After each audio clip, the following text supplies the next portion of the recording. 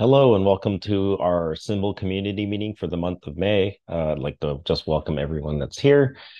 Today's date is Wednesday, May 24th, 2023. Uh, if you're watching this recording from home, we encourage you to come in and join us live. As a reminder, these community meetings are public and recorded and posted to YouTube at the conclusion of this meeting. Uh, we have two monthly meetings which occur on the fourth week of every month. This meeting is the America's Friendly time slot on Wednesday, the fourth Wednesday at 11 Pacific. And we also have the APAC Friendly meeting on Thursdays at 8 a.m. India Standard Time. Uh, just as a reminder, this meeting is for you, the community. So if you are encouraged to bring up any discussion topics, ideas, questions, or anything else you need help with related to like conversation analytics and and Symbl if you aren't able to attend either of these times, you can always reach out on the Google group or in Slack. And if you have any discussion topics that you want to bring up today, uh, you can scroll down to the bottom here and add them to the to the bottom here. Having said that, yeah, let's go over announcements. So uh, the uh, recording and the slides for the April community meeting has been posted. So you can find the recording on YouTube and see if I can get the recording on YouTube, and the slides are, you know, available as Google Slides, so you can access the links and stuff off the material there. Just as a reminder, we have I did some reorganization on the community repo, so did some like reorganization there and posted more links and articles and also some of the training videos. And then there's the upcoming training videos, which is going to cover uh, there's going to be three of them. There's going to be one for topics, one for questions, follow ups, and action items, and one for entities. I've completed all the slides, and I just need to kind of like walk through the like you know the verbiage and like what I'm going to say, and then I need to need to do the recording on that. So stay tuned for that. That should be hopefully uh, be available at the end of this month. So for updates and curated content, we had no action items from the last meeting. And since we don't have anything in the topic section or for discussion, I have a the topic today for this month is going to be uh, enterprise conversation architectures and applications, and I have some slides, so just going to jump right into that.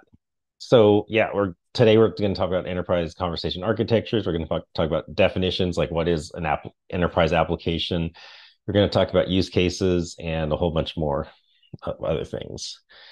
Um, so you can see the agenda here. So, like I said, what what's enterprise software? We're going to talk about uh, specific use cases for enterprise software, and like specifically as they relate to conversation based applications. We're going to have some examples of like, you know, what your typical enterprise conversation application looks like, and I have a, a couple demos for everyone here, and then Q and A. So, what is enterprise software? So, if you look at enterprise software and you look at the the definition and you just do like a Wikipedia, um, you find that the definition is software that satisfies an organization's needs. So, typically, most applications, a lot of them, are geared towards like what can an individual person or a small group of people what can they do like a small team like what can this application do for them? But in enterprise software you're talking about elevating or prioritizing the need of the collective organization. So like these are very large organizations you know with you know potentially hundreds of thousands of people in them right? In those applications you know they typically have much higher level you know functionality. So they tend, tend to dabble in like management operations like automation and reporting for the organization as a whole as it pertains to like whatever their business is. You know most enterprise software obviously needs to process information quickly since we're talking about large large systems with large amount of users. It needs to be able to process its work uh, efficiently and quickly so that people aren't hung up and waiting for results and, and data. And typically you find that because these applications are large are deployed across networks. Enterprise software typically in, interoperates with other enterprise software. You could think about like databases, firewalls, mesh networks, and applications typically have some sort of SLA or service level agreement, like what is the downtime in, for this application like um, when i'm doing operations like maintenance operations you know does that affect downtime usually not and there's usually ways of making the application still available and then typically lastly you find that applications are like customizable right? There's you have what some way of extending applications uh, such that you know you can tailor them to like whatever your business needs are. So that's like kind of an older definition and if we kind of like modernize that definition if you take like according to gartner and like what they say like what enterprise and application does so an enterprise application is very integrated towards like the core businesses kind of like already alluded to that a little bit. So you like you know maintenance operations like what's on the production line your logistics of if you're doing like shipping and you're doing like inventory that kind of stuff. So it's integrated all aspects of a business operations. And because we live in a like an internet connected world where the other side of the globe is still awake while we're sleeping. We're talking about high availability and making sure that the application, your five nines or six minutes of downtime per year, your business is constantly running 24 7. And just like the previous definition, you know, there's always speed and concurrency because the amount of users that are on your system. A lot of that's achieved through scalability. So, so in like today's terms, you're talking about like microservices, right? So like if you have microservices that are geared towards specific functions and you find that particular area of your business is hitting super peak demand because of the time of day, you can always scale out these microservices to meet that demand, right? So that's kind of like what the idea behind that is. And then obviously these like microservices with the advent of container technology, you know, they're robust, right? They're like if there is a problem that the idea is that you have the system be able to like correct itself with very little uh, human intervention. Containers and stuff like that help out a lot when when something goes wrong. Other aspects of enterprise applications are regulatory compliance because we're talking about worldwide stuff. Need to comply with laws and, and regulations in other countries and and within your home country. So HIPAA as an example in the United States, right? If you deal in healthcare, anything healthcare related, you need to like make sure that you're compliant with HIPAA. And then you also have like data retention policies, like what does there's a disaster, like what does a backup and recovery operation look like? Data retention in the other sense, where it's like, how long am I holding onto this data? Do I have a, a storage system or storage software system that I can age off data that's no longer uh, needed and being used? Just like before, extensible extensibility, so you can like extend the the application and the functionality to meet your own finally like you're talking about like a lot of automation. Most enterprise applications these days are like api driven. Like reporting is done through dashboards and, and stuff like that. So then if we take that now in the lens of conversation analytics and understanding like conversation insights and stuff like that. What does an enterprise application look like? So that you're in enterprise application you're talking about much different things right? Um, because we're talking about spoken word and sentences. You're talking about like understanding what the conversation and what the individual sentences and the words and the meanings are. So you're really talking about like how to data label and like create metadata around like what is being said in a conversation. Recognizing that a sentence is actually a question like who is the subject of that sentence.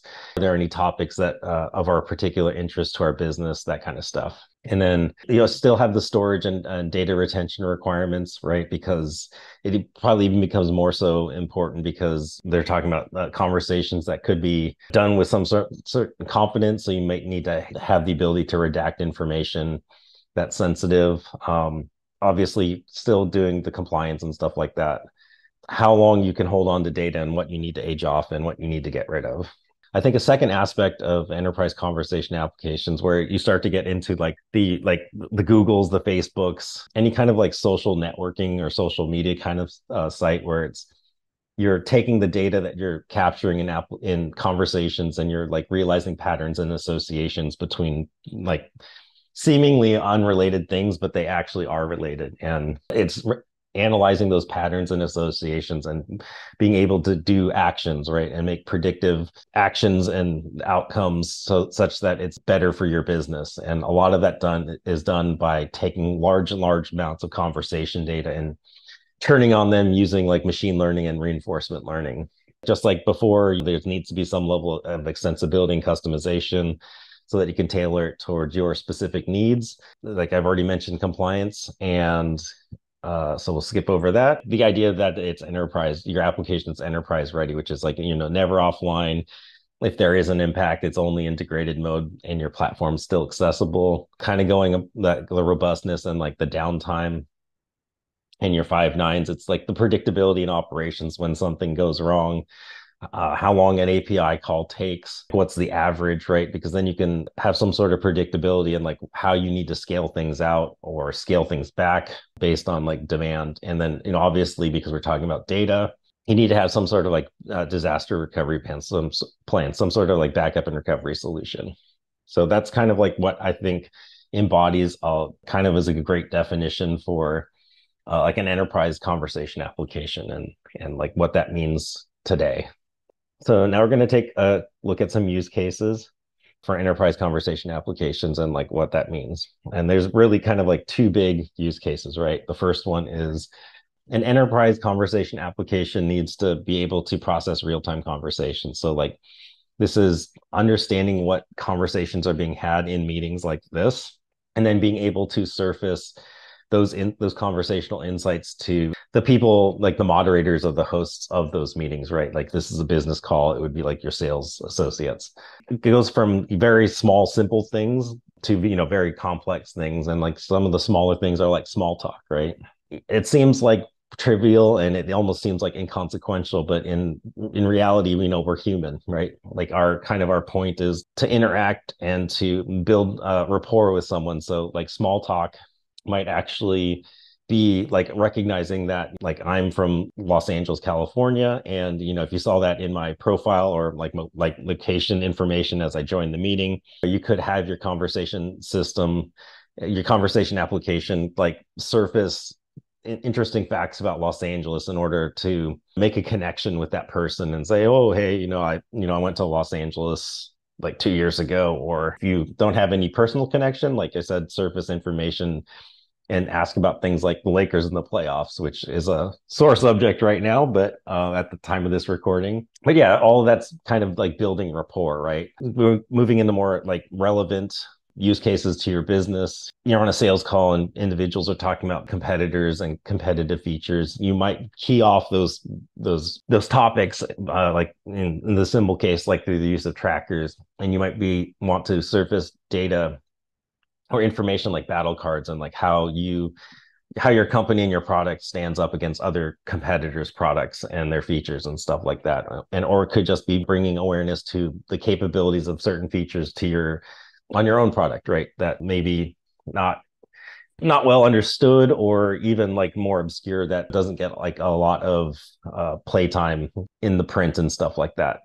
And then like finally getting to like the you know the real enterprise level type use cases where it's like doing conversation aggregation, recognizing that there's information in a conversation that took place a week ago in Europe, and then being able to associate and make a relationship to the same topic that's being discussed t- today or even tomorrow in a conversation in a meeting that's taking place in the United States and linking those two items together and understanding that there's a relationship and finding the context around that. So conversation aggregation i think is a very important subject as it relates to to enterprises and social networks and stuff like that. And kind of like the the big reason why we're talking about this meeting here today and this topic is being able to take real-time conversations and and asynchronous conversations and being able to leverage those two sources and treat those two sources of information those two conduits or pipes of information as like one source of truth right? Like one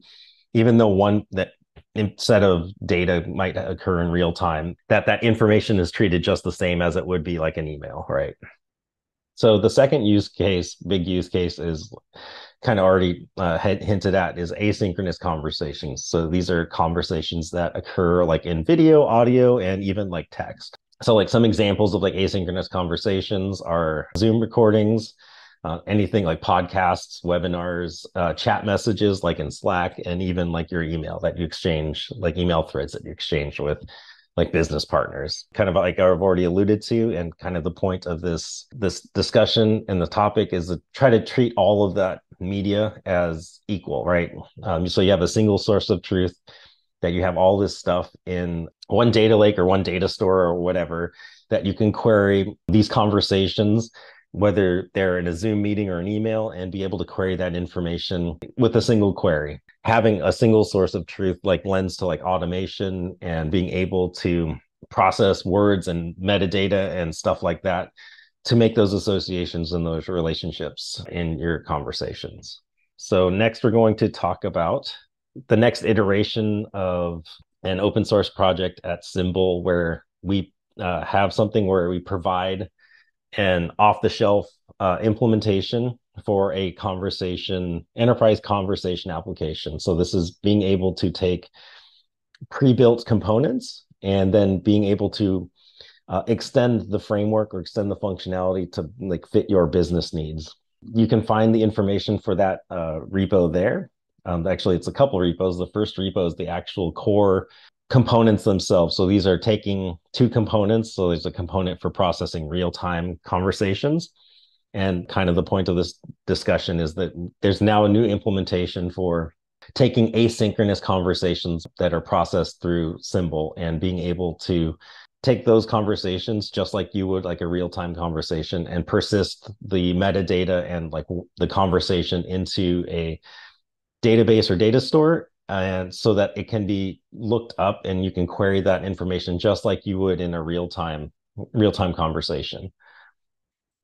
So you'll find the components in that enterprise conversation application repo and with all the documentation and how you set it up and provide some basics out of box functionality like doing transcription and doing like closed captioning and stuff like that so you can see the words that are happening underneath the the teleprompt there and this used to be called the enterprise reference implement, implementation repo but it has since been renamed to kind of like show that now this is like a full-fledged starting point and application that can do asynchronous and real-time conversations. And the method in which you do extend the functionality for this framework is creating plugins. There's a, a, whole framework about receiving messages and events through this framework and being able to react to those events because the asynchronous side of the house to process conversations is new. I created two plugins to to handle asynchronous processing asynchronous conversations so like processing an email for example or like a zoom recording and being able to look for uh, things within those conversations so that you can do, send an email to like get visibility or even call like a webhook to have two demos the first demo will be real time and the second one will be asynchronous so if we look at the architecture diagram i know this is a lot to take in but this is this contains both components or both use cases. So like the top half of this diagram, I know this is kind of small, but the top half of the di- diagram covers real-time uh, streaming communication. So this is like if you have a CPaaS platform or like you're in a Zoom meeting, this is doing the real-time insights through a WebSocket and getting real-time data back and then uh, storing it in that centered graph database, like all the conversational insights and the metadata. And the bottom half of this uh, diagram focuses on the new implementation for processing asynchronous conversations. So if we take a look at just the top half, um, this is kind of like just chopping that diagram in half so that we have a better picture. So on the left-hand side, you see your client side, which is, you know, could be a CPaaS platform. You're connecting through this yellow box, which is the WebSocket. I kind of already alluded to that we have this Symbl real-time service that you connect into for your from your client. And this is the thing that processes all of the conversation insights to the Symbl backend, to the Symbl platform through a WebSocket. And when it receives those insights back, it, those insights are stored into the graph database in the center. And for every for every conversation insight, like a question, topic, or tracker, you'll fire off an event which is a, a Rabbit message bus event, which is this thing on the top, to every plugin that is in the system. So that this is these are the plugins that you would implement, or you can use the ones that are available off the shelf in the plugin repo. And this is how you extend the functionality where you don't need to write all of this code for this stuff. You only need to write little little discrete pieces of code in the form of a plugin to create functionality for your real-time applications. So the those the two plugins that I had mentioned that are currently implemented are there's a historical plugin uh, which effectively gives you the last five references mentioned for topics, trackers, or entities. So, like, say I said there's an entity discovered like California. It the historical plugin is going to go searching through the the database to find the last five references in other conversations to California. And the statistical plugin is a plugin that kind of just lets you know how hot or how hot a topic is. So this is kind of like doing effectively kind of like a heat map of topics, trackers, and entities. So if I feel like you hear like a lot of people saying like California, and maybe like this is an ISP situation, and you hear a lot of people saying there's an outage in like Los Angeles, like you'll you'll see the mentions in the the first 30 minute bucket be really really high right so this is like how you can use that information for your you know your real-time applications so let's go ahead and stop right there and i'm going to demo this like what the setup looks like for real time for real time applications so let me see. so just like in the diagram previously we're going to cover uh, the real-time conversations and like what that would look like using this off-the-shelf implementation. I already have a Neo4j database running, and I also also have a Rabbit server running for the message bus. So just like in that diagram, we can see here, run that, but I'm going to disable uh, transcription and the chat messages. And the next thing I'm going to do is I'm going to launch the historical plugin. So this is like this plugin right here. So it's going to connect to this proxy data miner service through a Rabbit message bus and receive events from there. And the next thing I'm going to do is I'm going to uh, run a client. So this is the client component here. So we're simulating this using just a, a, a, Go CLI and we'll receive events and just display them to the console instead of having like a fancy UI. And so once I start this, I'm going to go ahead and say a few things into the microphone on my laptop and we can see the conversation insights pop up. Hi, my name is David. I live in Long Beach, California. Have you ever visited Long Beach before?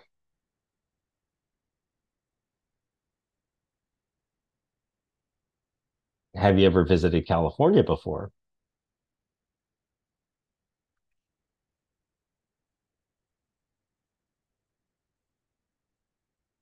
So you can see all the insights that are flowing through here. Um, so this is because the historical plugin, you don't really see much uh, in the in the client here because we're only talking about like the history. And this is the very first conversation we've recorded. Um, you know, you're not going to have any uh, messages from the historical plugin pop up.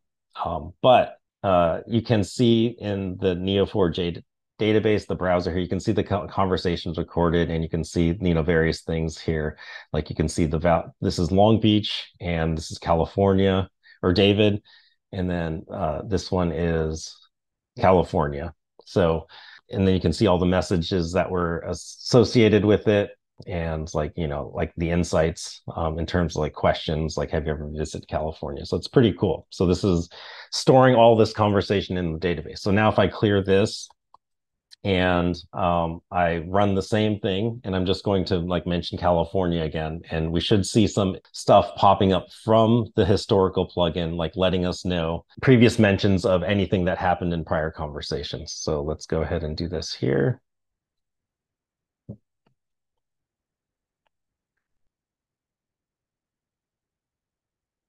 I want to visit Long Beach, California. So I'm going to stop it right there. So I disabled the transcription this time. And so that's why we didn't see the flood of messages through here, but you can see them on the back end, right? Which is, uh, you know, have you ever visited California before, right? So it's building that up. But kind of like the more important piece of this portion of the demo is that we got a message from the historical plugin, right? Which you can actually see the debug statements here, the historical plugin console. But the historical plugin recognized that someone mentioned Long Beach, California, and it's going to send a message to the client to consume, which is back through the proxy data miner service and to the client. And this is kind of like the message that you get the historical significance for Long Beach, California, which you see here. In this conversation, I said that I want to visit Long Beach, California. And in a previous conversation, right, the first conversation, I said that I lived in Long Beach, California. And so this plugin kind of gives you the history for um, like for any kind of entities, uh, topics, trackers, that kind of stuff. So that's kind of like what the purpose of the historical plugin um, does. And so you could then surface something saying like, if this was more a more meaningful text um, and it was a more meaningful like entity or question or or or sentence or topic or tracker, you, you know, you could say that like, oh, Jane Doe mentioned that they wanted to go or that they live in Cal Long Beach, California. Maybe I can like talk to Jane about um, like where I should go visit in Long Beach, California. So now the second thing I'm going to do is I'm going to start this the, statistical plugin and notice that the uh, data miner proxy service is still running for the real-time conversations. And we also have the historical plugin still running. So I'm going to hit launch the statistical plugin right now. And those things are still up. And the cool thing about this is because it is a pluggable framework, you can just you know instantiate new plugins or you could have plugins bounce and crash or whatever. And if it's a container based solution it would start up and like it would begin processing things like nothing happened. So this time i'm going to uh, clear this out and i'm going to you know mention california again and we're going to see like what happens in this case i am going to take a flight to long beach california tomorrow So I'm going to stop it right there. So kind of really the interesting thing is now that we have two plugins running, right? We have the historical plugin and we have the uh, statistical plugin. You can see that these higher level application messages are sent um, to the client. So this time I said I'm going to take a flight to Long Beach, California tomorrow. And you can see, you know, basically in this, this is what was currently said here. And what was previously mentioned in other conversations was that someone lived in Long Beach, California, and someone wanted to visit Long Beach, California. And this is like what the historical plugin, these messages for the historical plugin look like. And then also because we had the statistical plugin running, we can also now have a statistical message. So we actually have a, a trigger based on uh, the entity Long Beach, California. This is the text that triggered this this uh, statistical message. And you can see, right, we had two previous conversations. You know, obviously they're all twos because they're all within the last, you know, they all fall within those categories. But we had two previous conversations where someone had mentioned uh, Long Beach, California. And so this is kind of like what I wanted to demo for the real time applications or the real time uh, conversation application and and the the code that exists in the repo today. And this is like off the shelf software that you can use. Uh, and, you know, highly encourage that you use this because it provides history, it provides a place to store your data and um, it does it and handles real-time conversations and and stuff like that. So it's I think it's a pretty cool uh, way to process real-time conversations with off-the-shelf software. Okay, so for the second uh, demo, I'm going to cover, I'm going to cover the bottom half of, you know, this architecture diagram, which is uh, processing asynchronous components or asynchronous conversations using the, the components that exist within the the uh, enterprise co- conversation repo there. So because this we're processing asynchronous conversations, the workflow is very different, right? So on the right hand or left hand side, you see uh, a, the client side application, which could be a human making a REST call or could be a process making a REST call. So this is basically you're going to make a REST call with a, com- a Symbl conversation ID. So this is a conversation that has already been processed in the Symbl platform. And you will basically want this system to be aware of that that particular conversation and you want to be able to persist that information into the database and also do certain activities triggers actions based on like what is being said in that conversation so you'd make this rest api call with the conversation id to this Symbl asynchronous service and you know it basically is going to call the Symbl platform grab all of those insights for that asynchronous conversation so like a recorded zoom call and it's going to take all of those insights like entities topics trackers and it's going to persist them into the database and then for every one of the messages or the insights that are you know pulled from the Symbl platform it's going to fire off a rabbit message uh, through the rabbit message bus to your asynchronous plugins. It's up to the asynchronous plugins to do whatever it's going to do with these messages. So these are plugins that you are going to build and so basically provide the infrastructure again for all of this including the database. You just need to implement these plugins. These plugins can be implemented in any language. They don't have to be Go um, because you're just interfacing through this Rabbit message bus. For the demo today, I'm going to demo all this, and we have two asynchronous plugins. It does send the email, and when, when it does make the HTTPS uh, call to your uh, endpoint, it's going to take the entire conversation, so the entire JSON of conversation, and it's going to send it to your e- through email or in uh, this webhook uh, call. So I'm going to go ahead and demo that right now. The first thing we're going to do is if we look back at the architecture diagram here, we're going to start this SYMBL asynchronous service. So we're going to go ahead and do that here. And the second thing we're going to do is we're going to start both the email plugin and the webhook plugin, um, which is right here. And we're going to start those two. So this is going to send an email based on like things that I'm going to trigger off of. And um, actually, the we're going to trigger off the same stuff for the web webhook plugins, but I'm going to show you what that configuration looks like. So in the webhook plugin, we're going to make uh, we're going to stand up a, a webhook server right here, and this is what we're going to point to. So we're going to do that in a second. And these are the regular expressions that we want to key off of. So effectively what i'm going to say is every question every follow-up every match every topic every tracker every entity. So basically as long as there's one conversation insight i want you to make the webhook call. And it's basically just for demonstration purposes. You can make this like basketball right? If someone mentions basketball in, as a topic you then would get triggered for that. And you know these are all optional but you need at least one in order to get like a trigger. But so we're going to go ahead and start that webhook plugin right now And then, like I said, we need to call a REST endpoint in order for this plugin to, to make a, a call to a server. And so I'm going to stand up this webhook, very, very lightweight webhook endpoint, just so that we have something to call and see what it would look like on the receiving side. Um, so you can see that running right there. So now we have our date SYMBL data miner service, which is the center piece here. Then we have our two plugins, which is the email and the webhook plugin, right? We need to have a conversation ID. So this is a conversation that's already been processed in the Symbl system.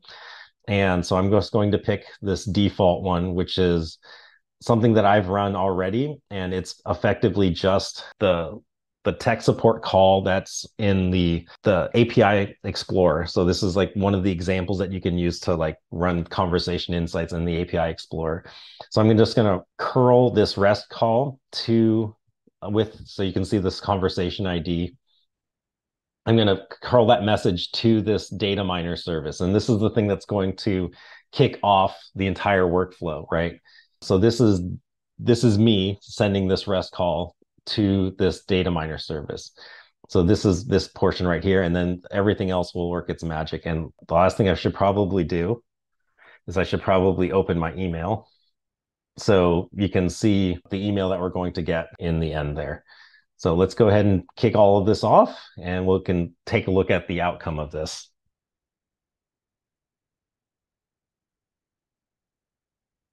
So there's a lot of stuff that happened like pretty quickly. And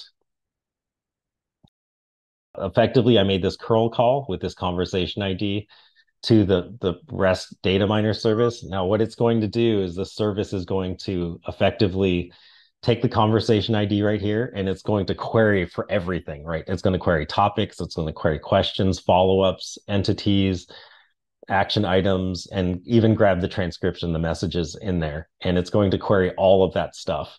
And for everything that it discovers, so for every topic, for every question, it's going to send a rabbit message to these plugins. Oops, looks like there's a oh because I don't have any trackers set, so that's like an optional thing. So um, and then like it's the close of the conversation. So I probably should make that uh, message a little friendlier, but I don't have any trackers set, so that's why you got that message. So it's going to take every one of those insights and sends it to the the plugins that are the asynchronous plugins that exist, and in this case, that's uh, email. So you can see all of the same things that were uh, discovered in the data miner service. And so if we look at my inbox, we can already kind of see I have an email waiting. It should send an email um, notifying me that it triggered at least one of the uh, triggers or the regular expressions that matched. And in this case, I said I want to know about everything that happens. So we, if we look at the email there, you can see this trigger email. These are the things that uh, had triggered to uh, basically triggered what caused this email to happen. These are the topics, these are the questions, follow ups, and entities and action items that occurred in this conversation, right? In this conversation ID. And here is the entire blob of JSON so that you could uh, do something with it. But effectively, this is kind of like your notification about someone mentioning like basketball, for example. So that's great. And in the webhook case, you see the same thing, right? These are all the things uh, that uh, were discovered. So these are the things that matched.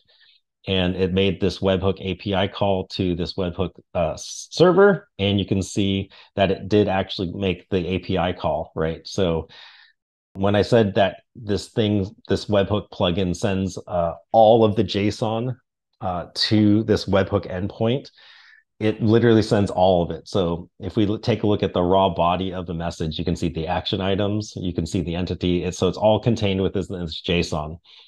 So this is something that you would pass. So this endpoint would actually be a system in your infrastructure. So it'd be some at rest endpoint, and you can effectively take the JSON here and manipulate it and do something with it that you know pertains to your to your business. So, so like say someone mentions the word basketball, this REST call then could like key off the word basketball and and do something like go find tickets for the Lakers or something. This is the demo and I hope you enjoyed it. This is the newest uh, implementation or the newest uh, release. Asynchronous uh, infrastructure here that you saw in this demo is very it's new it's the latest thing. And so there's many more plugins to come but these are the two that i thought of for demonstration purposes yeah i thought would be very cool. So yeah um, that was the demo for the asynchronous components. I hope you enjoyed that. Like again so that is a demo of processing real-time conversation um, using the real-time infrastructure, the real-time components, these off-the-shelf components that you can use uh, contained within the repo, and also a demo of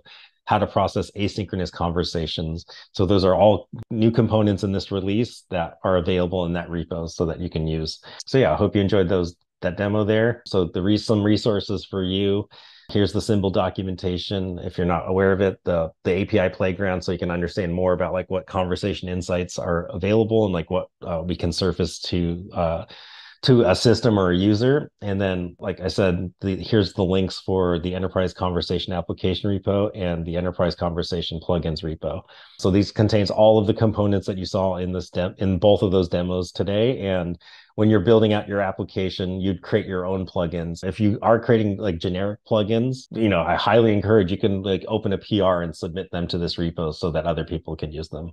So yeah, just as a reminder, you know, if you have any questions about this demonstration or the slides or the topic, you know, you can always reach out to us on Slack or Twitter and here's our github so you can find more projects and stuff like that. But yeah just be involved and you can join the community and you know ask questions and stuff like that. And i'll hold for questions. And i don't think there are any so yeah um, i hope you enjoyed the presentation and yeah you know look forward to seeing everyone at the next meeting. Um, we'll, we'll have i believe a really cool topic for the month of june. I can't announce it just yet because we want to make sure that it gets released you know the new feature. Uh, but it, you should hear announcement shortly. So um, you know just thank you for attending and i hope you enjoyed this uh, presentation. Thanks